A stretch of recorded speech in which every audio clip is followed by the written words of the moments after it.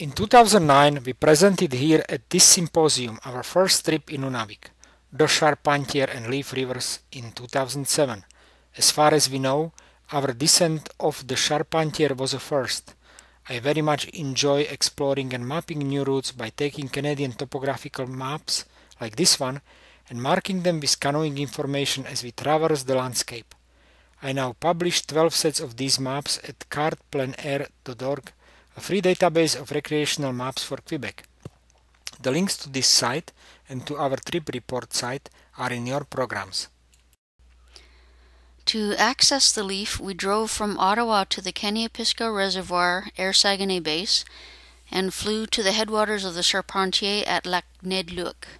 Once we paddled the Leaf to Tasiujaq, we chartered another float plane back to our car. Being limited for time to do this trip, we chose this expensive access. A considerably cheaper route would be to take commercial flights in and out of the airports of Umiujaq and Tasiujaq, doing the complete traverse, which has been paddled quite a few times.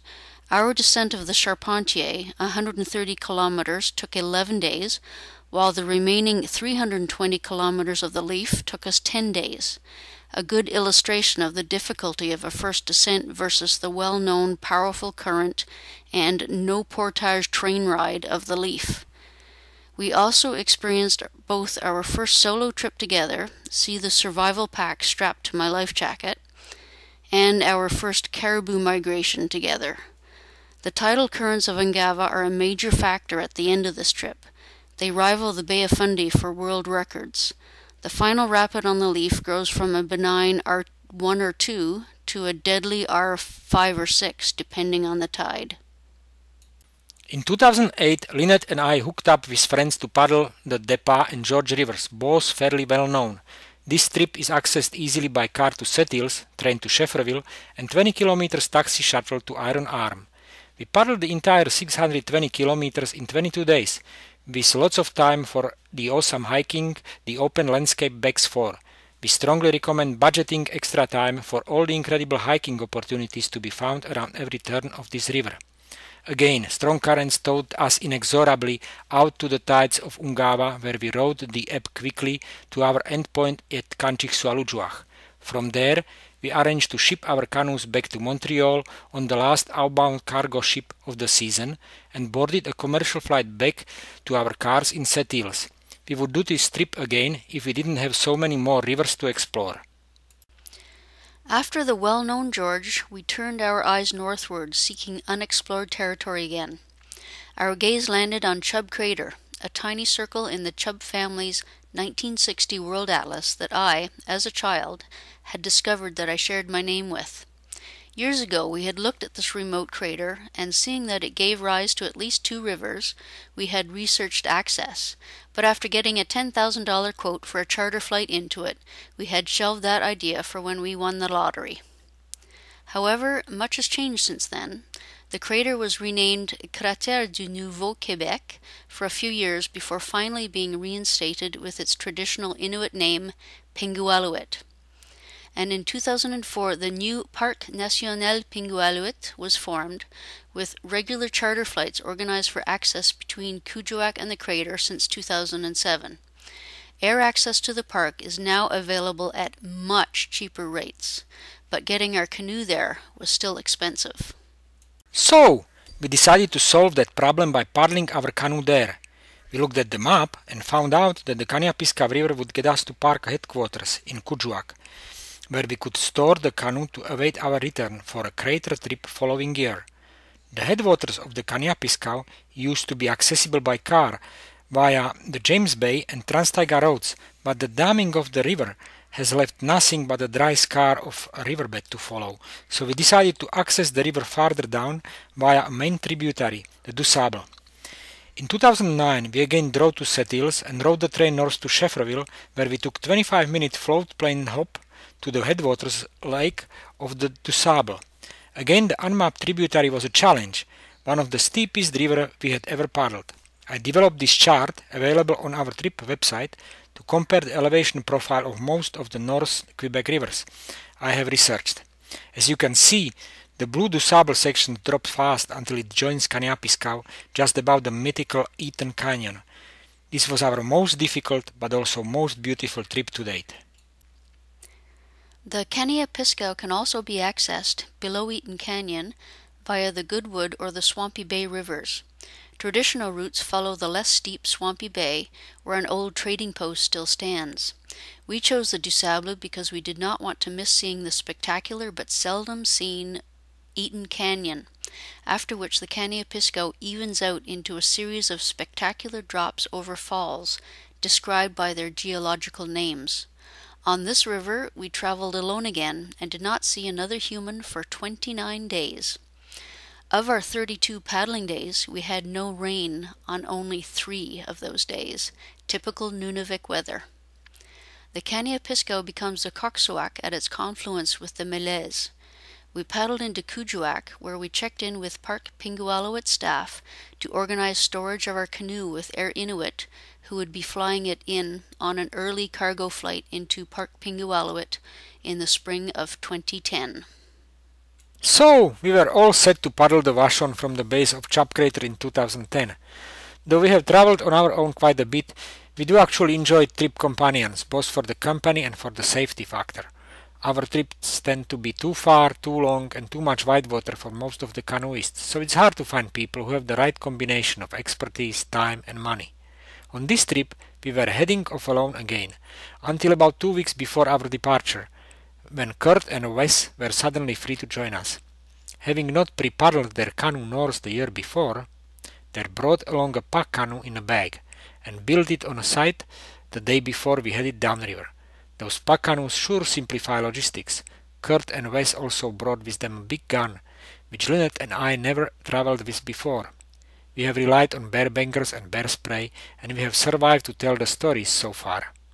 Though a photograph of starving polar bear 160 kilometers inland up the Caniapiscau was being passed around the community after we arrived there the year before.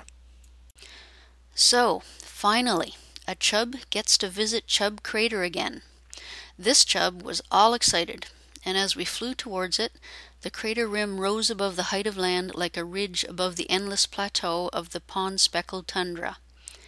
Our view suddenly broke over the rim, and the perfect circle of deep indigo blue was revealed below us. As we circled the perimeter, the skim of melting ice over the surface sparkled in the sun like a million sequins against the indigo depths below it. The pilot treated us treated us all to a full circle before turning back over the park's Manarsulik base camp on the shore of Lac La Flamme to approach the sand runway for an expert short landing. As we portaged our gear to camp, we spied our well scarred but faithful old canoe waiting for us under the first cabin.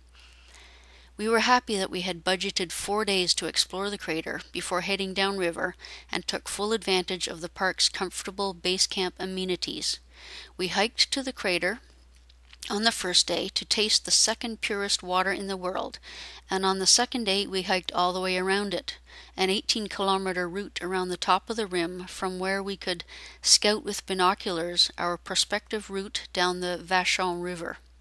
Kurt and Laco hiked in to scout the Puvirnituq's Sanguamaluk Canyon on our third day.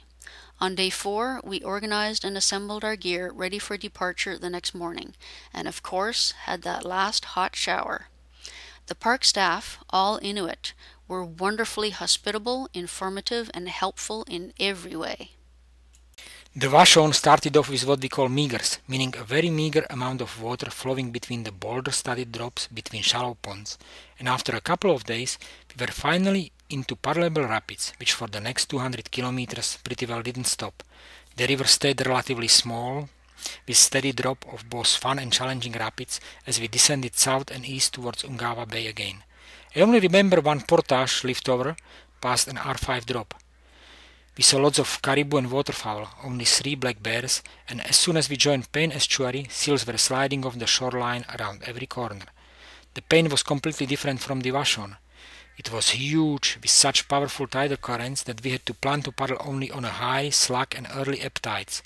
Fresh water was available from streams along the steep fjord-like shorelines, and campsites were difficult to find. The Payne is also site of a number of ancient monuments and archaeological sites theorized to have been constructed by Snorros Viking in the 11th century. We were lucky to be able to visit both the Hammer of Thor and Pamiok Island with a number of huge ancient dwellings and cairn sites. We had such great conditions that we landed in Kangirsuk four days early, where we were greeted at the boat launch by municipality staff, who helped us find an empty house we could rent for our short stay. We were able to make arrangements to go on a boat tour into Ungava Bay with a local hunter, arrange storage for our canoe and hike the hills around the community before flying back to Ottawa again. We would like to thank Kurt and Wes again for their very amendable company on this adventure. Over the winter we arranged with Park Pingualuit staff to have our canoe transported from Kangirsuk back to the crater. This is Noah's photograph of it lashed on top of 21 dead caribou on the komatik they towed behind their skidoos when they used our canoe as an excuse to go on a caribou hunt last March. They stashed it for us back at the crater to await our return in July 2011 to paddle the Puvirnituq River from the base of the crater again, this time west to Hudson Bay.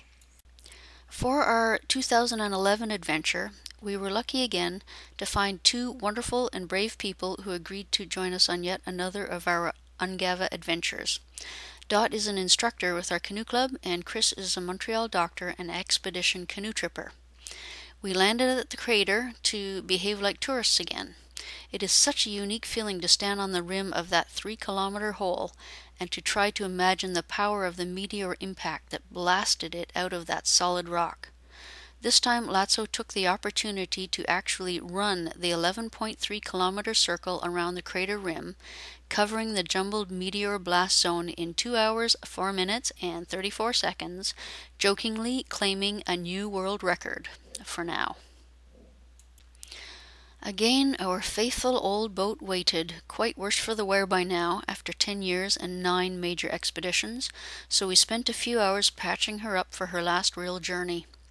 This year the ice was a little later leaving, so we launched into the channel that had melted between the shoreline and the ice pack, and headed down the meagres of the Vachon, before turning north this time, to portage up over the height of land to get into the Hudson Bay drainage basin. Here we had our first experience hauling over ice. We learned a lot fast.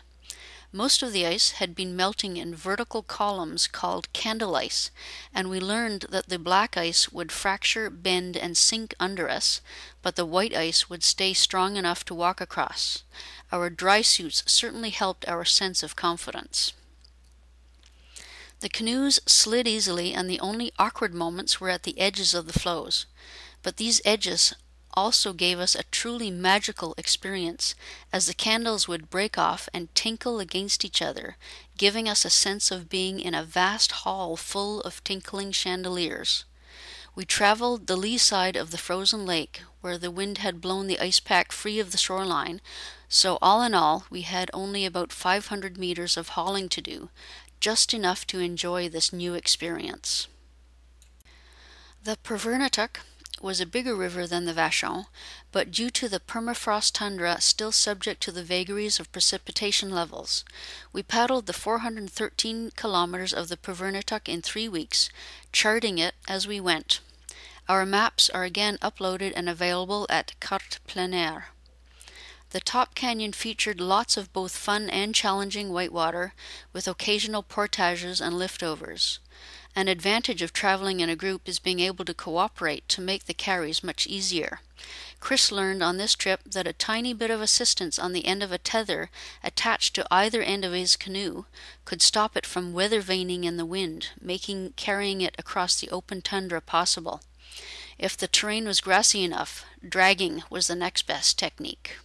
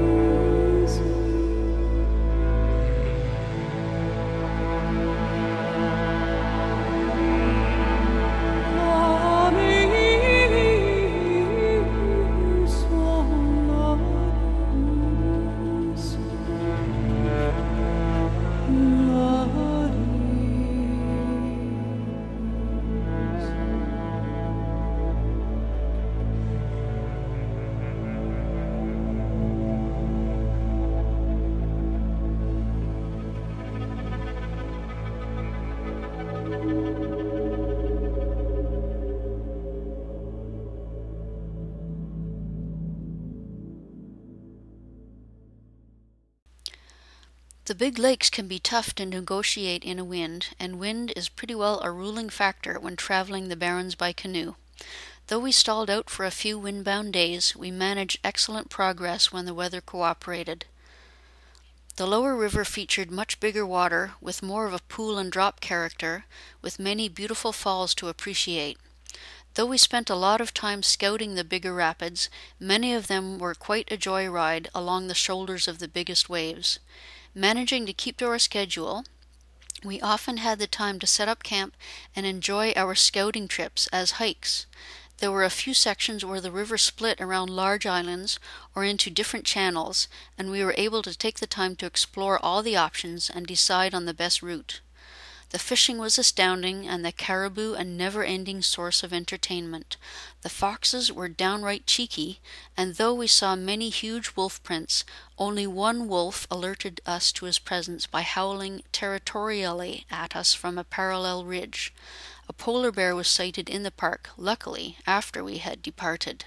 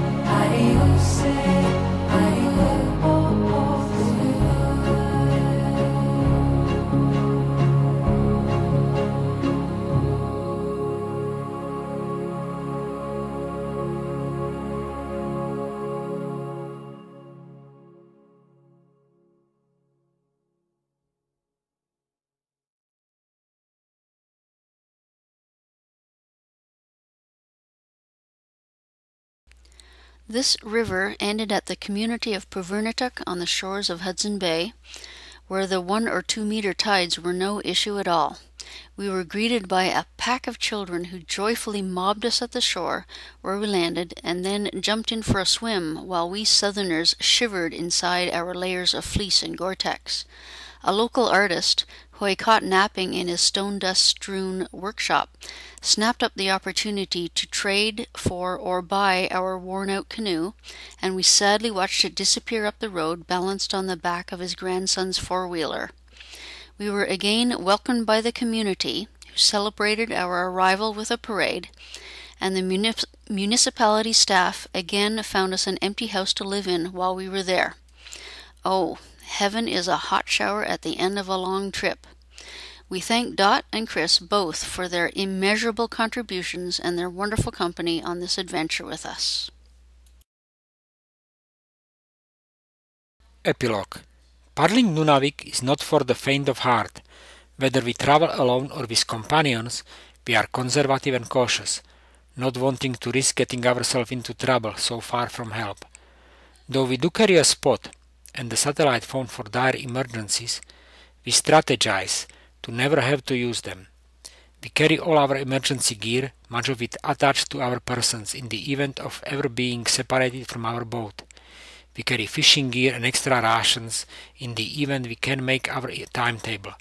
We invest in a good quality equipment which will protect us in conditions which can range from thick clouds of biting insects in steaming midsummer heat to howling winter gales. But most of all, we take care of and look out for each other. Small issues or actions can quickly produce big consequences if they are ignored or neglected.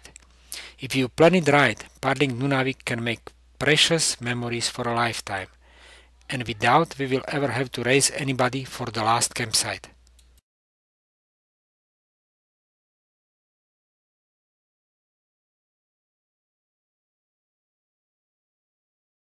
How is your day, Chris? Uh, the day so far is this crazy Slovakian guy uh, took me through uh, the biggest whitewater I've ever been through in my life. And then uh, we managed to wedge on a, on a rock in the middle of another rapid, uh, which we got off okay. It's alright. Yeah, quite an Not adventure. bad, not bad. That's good.